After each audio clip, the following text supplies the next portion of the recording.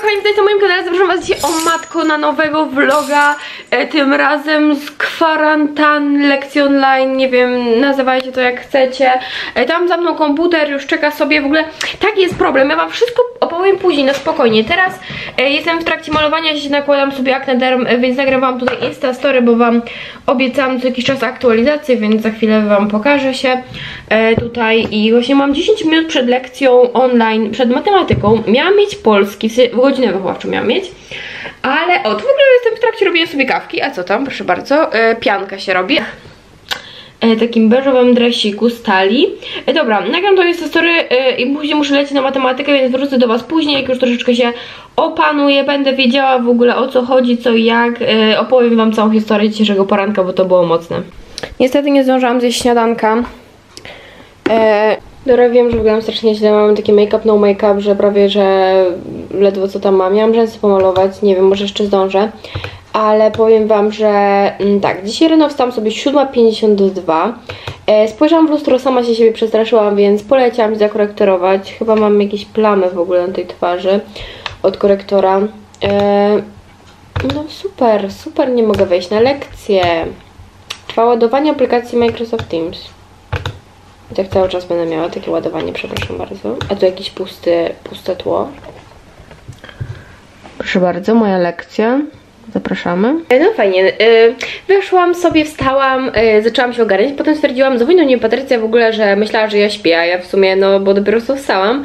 E, Wchodzę e, sobie, mm, stwierdziłam, że dobra, e, jak ona ma jakiś problem z tym wejściem tam, to ja też może spróbuję, czy na pewno mi to działa zamiast się tutaj pindrzyć, więc weszłam i ogarnęłam, że nie powinnam hasła do Librusa, którego dostałam na początku roku szkolnego, e, bo wiecie, nowa szkoła, nowe Librus. E, zresztą zapomniałam w ogóle, zapomniałam Librusa, nie mogę nic zrobić, ludzie już tam wchodzą e, na tą lekcję, a ja oczywiście nie mam Librusa.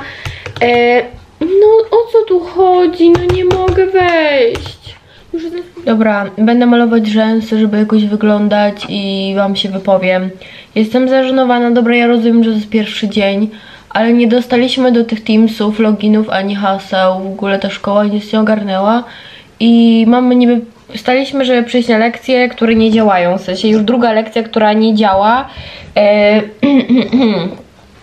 i z którą są jakieś problemy techniczne, no w sensie wiecie, no wiadomo, pierwszy dzień nauczyciele też czasami nie wiedzą do końca jak się za to zabrać, ale to jest druga kwarantanna, myślałam, że już przygotowali się na taką możliwość i ogarnęli chociażby jakieś opcje, co to będzie, jak będzie kwarantanna, raczej każdy był na to przygotowany, nawet nauczyciele cisnęli z tematami, chcieli nałapać jak najwięcej ocen, bo mówili, że no niedługo pewnie zdalne, niedługo zdalne. No to myślałam, że troszeczkę ta szkoła jest przygotowana do tego zdalnego, i naprawdę te lekcje będą działać, a lekcji nie ma, już druga lekcja miała być, tylko właśnie, bo ja wam jeszcze nie powiedziałam, bo w mojej szkole ustalili tak, że każda lekcja będzie trwała pół godziny i po każdej półgodzinnej lekcji będzie półgodzinna przerwa. Nie wiem, czy to dobrze, szczerze mówiąc, bo na półgodzinnej lekcji się niewiele nauczymy, jeszcze plus wejście i tak dalej, jakieś problemy techniczne, to zostaje 15 minut tak naprawdę. E, No ale no jakby okej, no w sensie pół godziny przerwy to tam spoko, jesteśmy w stanie sobie ogarnąć jakąś pracę domową, czy coś na kolejną lekcję się przygotować, nie wiem, coś zjeść między lekcjami na spokojnie, E, no, no i git. Ale jakby te lekcje się odbywały, a jak na razie godzina wychowawcza i matematyka właśnie nam przepadła, bo po prostu nic nie działa. E, No a kolejną lekcję mamy hiszpański, nie wiem czy on będzie działał, bo teoretycznie wszystkie lekcje miały być online, w sensie już miały się odbyć normalnie dzisiaj. Dobra, więc ja za chwilę mam trzecią lekcję, czyli hiszpański. Ogólnie e, problem jest taki, że nie dostaliśmy jeszcze dzisiaj loginów do Teamsów. E, mają właśnie panią od matematyki, w końcu się nią połączyliśmy. E, powiedziała, że mają właśnie przyjść jakoś, w sensie, że dzisiaj mamy je dostać, więc jutro już powinny te lekcje wyglądać normalnie i że wszystko będzie działać. No, w sumie to wiecie, w niektórych szkołach jeszcze ten dzisiejszy dzień sobie odpuścili, a u nas postanowili już ruszyć. Nie do końca się udało, ale wiecie, takie informacyjne lekcje może będą. Może coś się uda zrobić. No, zobaczymy. W każdym razie hiszpański, nie wiem, czy trzeba będzie włożyć kamerki, bo teoretycznie przyszło nam na Librusie, że jak nie włączymy kamerek, to równa się to z naszą nieobecnością na lekcji. Ale w sumie jak na razie pani od matematyki nie kazała, więc no nie wiem, powiem wam, że to jest jak na razie jakiś jeden wielki cyrk. E, Ja sprzątałam w pokoju, a już mam taki syf, że w sumie to chyba się wezmę teraz za sprzątanie. Naprawdę bo nie, nie potrafię się skupić w takim po prostu syfie, nie potrafię się uczyć, więc e, właśnie ogarniam tutaj, żeby mi się milej uczyło na kolejnych lekcjach online.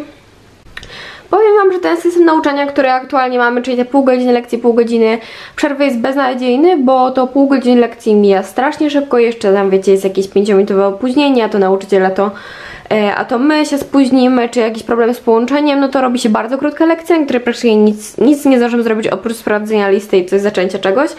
A później te pół godziny przerwy to jest tak naprawdę takie siedzenie, przeglądanie telefonu i czekanie na kolejną lekcję, czyli tak jak myślałam, że będzie, czyli jeszcze mniej mi się podoba ta kwarantanna niż ta poprzednia. W sensie tamta w ogóle mi się na początku pamiętacie, kiedy nagrywałam wam takie po, na samym początku takie vlogi z kwarantanny, e, to w ogóle byłam taka radosna, tak fajnie, siedzimy w domu, nie ma na co narzekać, w ogóle nie rozumiem ludzi, którzy narzekają na siedzenie w domu, przecież w domu można robić wszystko. No i niby prawda, ale na dłuższą metę to jest strasznie nudne i męczące. E, a coś ja sobie zawsze znajdę zajęcie takie, żeby się nie nudzić w tym domu, bo jakby w domu jest dużo rzeczy do roboty. I właśnie tak jak Wam nagrywam na tamtej kwarantannie filmik, co robić, jakby takie różne sposoby na nudę w domu i tak dalej, e, co polecam takiego kreatywnego, produktywnego zrobić na kwarantannie, no to teraz jak tak sobie myślę, to w sumie nic mi się nie chce robić i w ogóle jestem taka zdechła strasznie. Mam ten zestaw dresowy, jest mi przynajmniej wygodnie bardzo.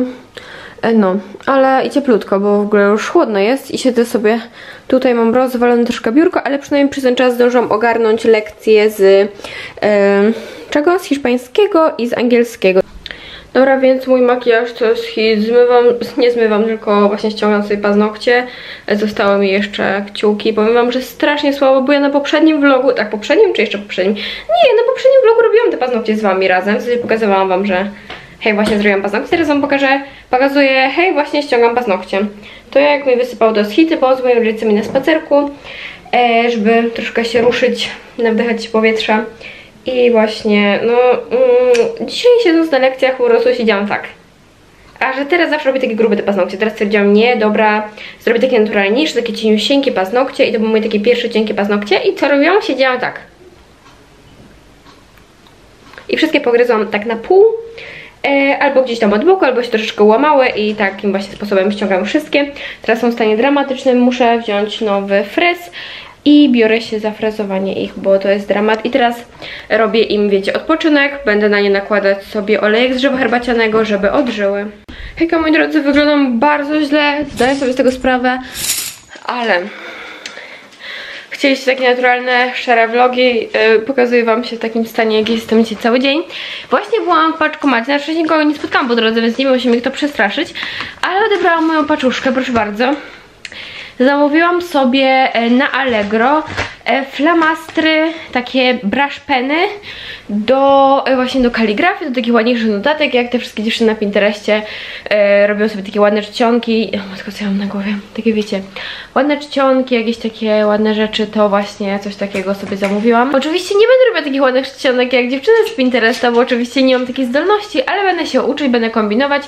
E, i taki zestaw z Pentela kosztował chyba 50 zł e, i do tego te dwa jeszcze sobie y, wzięłam osobne y, te braszpeny fioletowy i różowy. One były ten po 8, ten też 8. Fioletowym zobaczymy najpierw. Czuję, że to będzie bardzo ciężko robić, w sensie wiem, że jak do góry to cieniutko, a jak w dół to naciskamy. O matko. O, chyba wiem. W sensie patrzcie, po prostu trzeba mocniej naciskać, jak chce się grubie i tak bardziej pochylać. W sensie pochylone to można zrobić naprawdę grube rzeczy.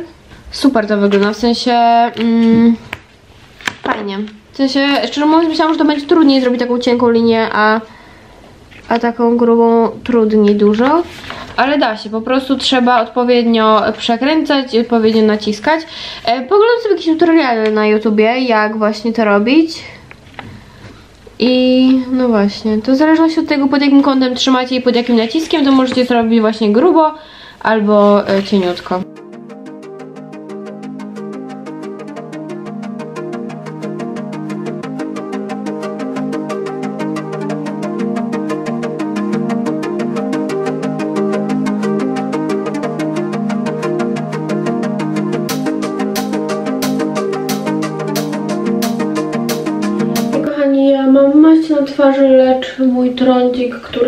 Ostatnio e, dramatyczny, bo no po prostu co, siedzą z domu, żerę masę słodyczy. Zresztą co ja mówię, jak siedzą z domu, jak chodzą do szkoły, też żerą ostatnio masę słodyczy. Dzisiaj y, chipsy z no powiem wam, że słabo, słabo moja dieta się odbija masakrycznie na mojej twarzy. E, no ale też przez różne czynniki nie wysypuję, więc nie jestem w stanie do końca tego stwierdzić. Ale teraz właśnie rozczesuję moje włosy, tak, to jest jedyny moment, kiedy właśnie rozczesuję moje włosy e, na sucho, w ogóle rozczesuję je po prostu, to jest właśnie przed myciem. E, no i w trakcie mycia jakby wczesując odżywkę. To są takie jedyne momenty, kiedy ja w ogóle cokolwiek robię szczotką. E, bo tak normalnie na co dzień to ja przestałam totalnie czesać moje włosy. I zobaczcie jakie są paskudne e, po rozczesaniu. I ja kiedyś normalnie na co dzień chodziłam w takich włosach. W sensie ja je czesałam tak codziennie i tak chodziłam do szkoły. Hi. Pięknie wyglądam. No, a właśnie teraz jak patrzę na siebie w lustrze yy, z rozczesanymi włosami, to jest dramat. Strasznie są tłuste już. Dawno ich nie byłam. E, I tak i tak nie włączamy kamerek, chociaż niby powinniśmy, niby coś tam pani dyrektor napisała, że e, niewłączenie kamerek równa się nieobecnością na lekcji, ale w sumie nauczyciele nie, nie wymagają jakoś jak na razie u nas kamerek, więc po prostu ich nie włączamy, więc nie muszę jakoś dobrze wyglądać, ale stwierdziłam, że dobra, nagrywam tutaj dla Was tego vloga, to przydałoby się jednak jakoś wyglądać. O, zobaczcie, przy każdym czasaniu to jest takie minimum, co mi wychodzi. Dobra, i stwierdziłam, że okej, okay, może osobnego filmu jeszcze bym nagrywać o włosach nie będę, ale bardzo dużo osób prosiło, żebym pokazała, jak o nie dbam. E, więc właśnie zaczynam od tego, że je rozczesuję i później je moczę. E, nakładam, mm, tak, Raz na tydzień nakładam e, ten peeling na skórę głowy, od tego zaczynam. To jest mój kochany peeling, dzięki któremu pozbyłam się upierzu i teraz w ogóle on już nie wraca, w sensie po prostu w ogóle przez świadomą pielęgnację pozbyłam się upierzu, a kiedyś miałam z nim bardzo duży problem i właśnie głównie ten peeling mi w tym pomógł, Zatura Siberica, więc on jest super i on się w sumie tak pieni trochę jak szampon. Mam sobie takie drobinki i później jak go zmywam, to od razu nakładam sobie szampon e, i teraz aktualnie używam takiego z. Ja kiedyś myślałam, że on jest naturalny, bo generalnie e, staram się używać e, najczęściej szamponu bez SLS-ów. Jeśli chodzi o takie drogeryjne, to na przykład Pentel Fresh nie ma SLS-ów, ale ten, z tego co wiem, niestety jakiś taki super łagodny nie jest ale przez jakiś czas właśnie tak go używałam, ale teraz w sumie wiem, że on też jest rypaczem. No i z takich typowych rypaczy, no to mam tutaj jeszcze taki Prosalon, e, taka wielka, wielka butla z, chyba, on jest niby jest napisane, że do codziennego stosowania, ale nie dajcie się na to nabrać, jak szampony mają napisane, że do codziennego stosowania to wcale nie znaczy, że są łagodne i że są, że nadają się do codziennego stosowania, bo właśnie takie szampony, e, no rypacze po prostu się na co dzień nie nadają. Ja właśnie muszę sobie otworzyć jakiś taki nierypacz, więc na razie w sumie dawno nie myłam tym typowym rypaczem, więc dzisiaj nim umyję. E, I później go zmywam i nakładam sobie odżywkę e, albo maskę. I to właśnie jest różnie. Mam teraz otwarte e, kilka masek. I teraz Wam pokażę, jak ja to mniej więcej robię. Żeby było odpowiednio dużo protein, amolianów, mektantów, czyli PEH, żeby było odpowiednie, e, no to trzeba mieć tych produktów otwartych jednak sporo. I ja teraz Wam pokażę, jak to u mnie wygląda, więc ogólnie mam tutaj maskę, ja mam je wszystkie podpisane. E, korzystałam właśnie, chcecie się dowiedzieć największą e, wiedzę na temat włosów, czerpię z grupki na Facebooku Włosing albo Włosomaniacy albo od właśnie kanałów na YouTubie, Włosomaniaczka chyba tak, e, Zakręcownia, e, Carly Brownie chyba jeszcze jakoś tak, różne są profile na Instagramie i tak dalej, to musicie sobie poszukać, ja od tych dziewczyn naprawdę bardzo dużo się nauczyłam. E, tutaj mam maskę emolientową, humektantową, to już nawet nie mam podpisaną, po prostu pamiętam, e, z Garniera, to makadamia i właśnie tu mam i emolienty i humektanty. E, więc jakbym robię tak, że za jednym myciem, na przykład jak jeśli używam emolientowo-humektantowej, to następnym razem e, za następnym myciem używam proteinowej, żeby to mi się wszystko zrównoważyło. Wiecie o co chodzi. Ta jest akurat proteinowa, to jest jedna z moich ulubionych masek od babuszki Agafi. Ona wygląda, dostaje jajeczna, właśnie ona jest typowo proteinowa. E, tutaj mam coś typowo humektantowego, tak mi się wydaje. Albo to jest EH, albo H, ja to traktuję bardziej jako humektantowe, bo ja ogólnie moje włosy są takie suche e, i przez to są właśnie mm, przehumektantowane, tak mi się przynajmniej wydaje. Więc właśnie jak nakładam samą typową tą odżywkę, plus jeszcze jakiś humektantowy stylizator, to one są już tak troszeczkę niezbyt ładne. No ale co jakiś czas jednak tych humektantów i tak i tak muszę im dostarczyć, więc tak troszeczkę mniej, ale nakładam czasami tej odżywki. Albo jeszcze można stosować metodę OMO, czyli najpierw nałożyć tą odżywkę, albo jakąś inną po prostu odżywkę, e, umyć włosy szamponem i jakby wiecie, nałożyć odżywkę, nie spłukiwać jej, nałożyć szampon i później nałożyć maskę emolientową. To jest takie właśnie OMO, ale to sobie poczytajcie o tym więcej, bo ja szczerze mówiąc też za bardzo, e, za dużo o tym nie wiem i też się z tym za bardzo nie bawię. E, dzisiaj chyba sobie otworzę nową maskę, właśnie taką kokosową i ona jest pech, ale tak największy nacisk na E, e, czyli najbardziej emolientowa, ale ogólnie proteiny humektanty też tam są, więc będę miała wyrównaną tą równowagę, wyrównaną równowagę będę miała. Super, o matko w ogóle jak lew, strasznie źle wyglądam. E, I Kolejna moja maska e, to jest od, z tych otwartych, bo mam też bardzo dużo jeszcze w zapasie, ale z tych otwartych, których używam, to jest taka skala ona jest przegigantyczna e, i ona jest typowo emolientowa i właśnie tak, takie traktuję, czyli emolientowa, humektantowa to emolientowa i używam jej tak na zmianę, żeby wiecie, to mi się zrównoważyło. Oprócz tego też to zależy od stylizatorów. Jeśli właśnie używam naturalnego stylizatora, czyli e, glut lnianego, e, właśnie zrobionego z siemienia lnianego i tak rozpuszczonego siemienia lnianego wychodzi taki glut i nim ugniatam włosy, to ten glut, jakby siemię lniane to są humektanty, czyli to jest taki naturalny humektant, e, więc jak wiem, że będę używać tego stylizatora po myciu, to już używam bardziej masek, na przykład nie nałożę już tej odżywki wtedy, tylko używam właśnie masek emolientowych albo e, proteinowych. No więc tak to wygląda u mnie, po prostu trzeba, musicie sobie poczytać o o tym pech, bo to bardzo dużo zmienia i właśnie wiele włosów jest albo przeemolientowanych, albo przehumektantowanych, to musicie obserwować swoje włosy. W internecie jest dużo takich zdjęć właśnie, jak wyglądają takie włosy, jak takie, czego im brakuje i o co musicie zadbać.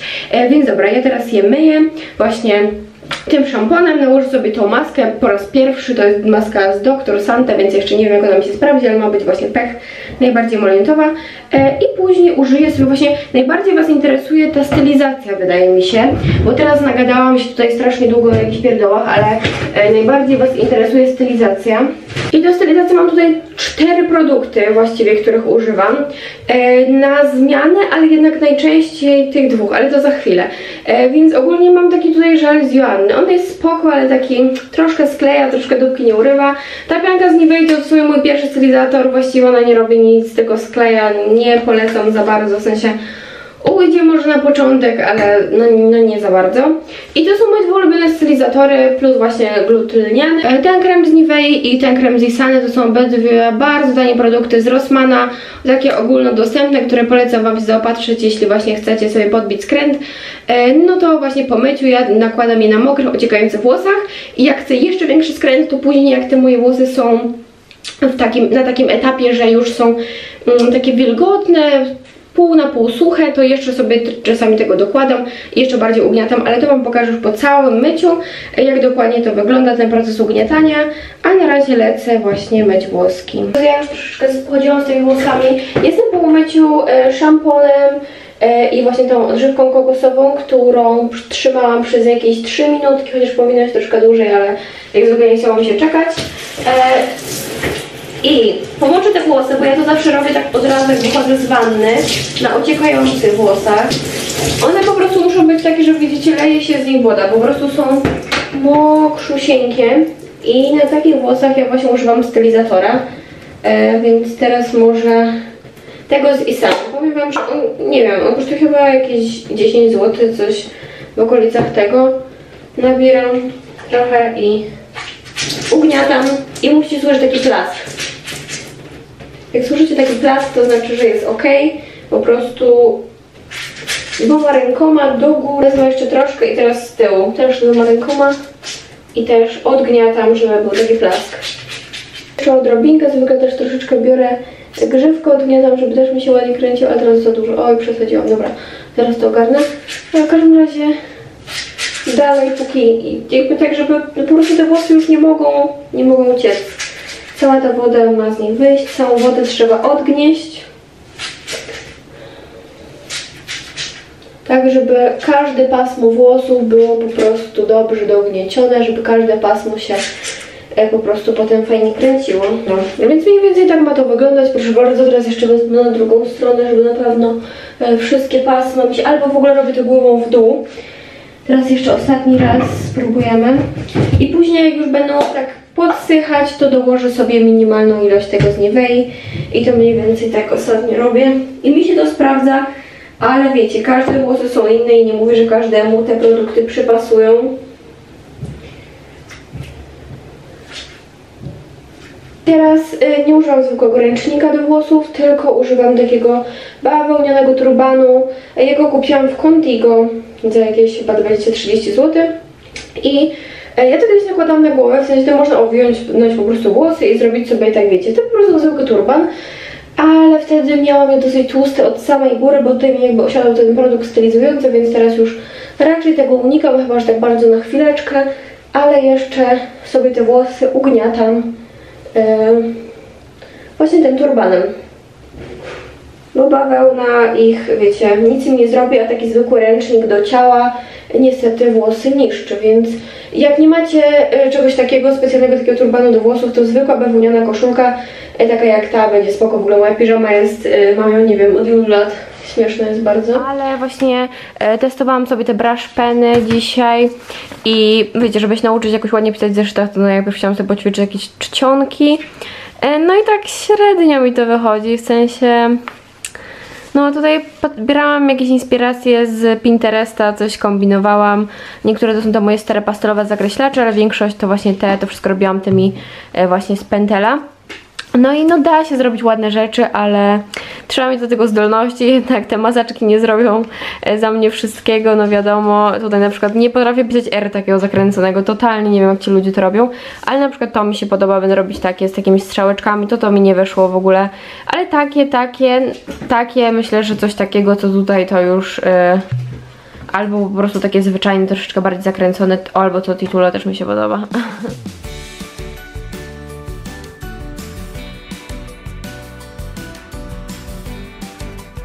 I kochani, ja wstałam, zarzuciłam na siebie jakąkolwiek bluzę, żeby jakoś wyglądać i pomalowałam rzęsy, bo pani od hiszpańskiego e, kazała nam włączać kamerki, więc ja tak e, na speedzie szybciutko wzięłam, zaczęłam się ogarniać.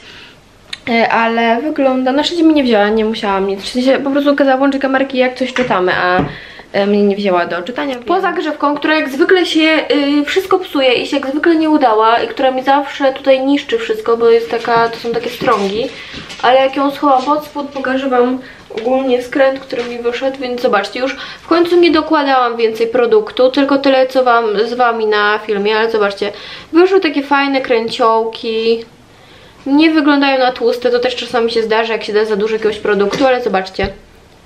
Naprawdę myślę, że spoko skręt wyszedł i są takie mięciutkie, więc widać, że tym razem e, równiutko cały pech mi się udało e, zrobić, że nie są przehumektantowane ani nic tak jak zwykle, tylko po kilku dniach już ten skręt mi się rozwala niestety, więc e, głównie dlatego muszę częściej myć włosy, przez to, że po prostu po kilku dniach już mam rozwalony skręt. No więc, a żebym dzisiaj gdzieś wyszła się z kimś spotkać, coś, gdzieś iść, bo takie mam ładne włosy, ale powiem wam, że no chyba, chyba czeka mi siedzenie w domu znowu. O matko, już 13, zaczynam kolejne lekcje, bo zaczynam o równiutkich godzinach, e, zaczynam po prostu e, nowe lekcje online i teraz będę miała polski. Kurde, ta strona jakoś ładnie wyszła. Zobacz na przykład na tego kręcioła. Oj, właśnie go rozwaliłam chyba. O nie, patrzcie, jaki fajny kręcił. Strasznie lubię. Niektóre pojedyncze pasemka wychodzą takie fajne. Na przykład patrzcie, taka sprężyna. Hops. No, ale oj, dzwoni właśnie mój budzik na lekcję, więc lecę. E, dobra, więc moi drodzy, czytam sobie właśnie Cierpienia Młodego Wertera, mam z ich jutro sprawdzian. Ogólnie miałam przeczytać całą tą lekturę, w końcu wyszło na to, że przeczytałam tak z połowę, w sensie tak wyrywkowo, wiecie, trochę omijając, trochę coś, fragmenty, pani nam podała takie fragmenty, których mamy się skupić, e, więc właśnie się skupiam jeszcze tutaj już na samym końcu. E, tutaj proszę bardzo mój artystyczny nieład tylko. E, tutaj dodatki z filozofii, które już robię. Takiej wielkości był mój zeszyt z filozofii w tamtym roku, tylko tyle. I ja właśnie teraz zajmowałam się jakby nauką tego zeszytu, w sensie robieniem notatek z tego zeszytu, no bo ciężko się uczyć z takiego czegoś milimet, mili, milimetrowego. E, wszystko robiłam tymi brush penami z Pentela. W sensie nie wszystko, ale w sumie większość. To są jeszcze te moje poprzednie. E, Arystoteles niedokończony, ale to już mam Sokratesa. Nie umiem jeszcze robić żadnych ładnych czcionek, w sensie no nie umiem za bardzo się nim posługiwać, ale coś próbowałam, ale jak widzicie, no moje zdolności pozostawiają wiele do życzenia. Ogólnie cały dzień się do Was nie odzywałam. E, wyglądałam znowu jak menel w szarych dresach i już mam kapcie, proszę bardzo, e, świąteczne, mikołajkowe.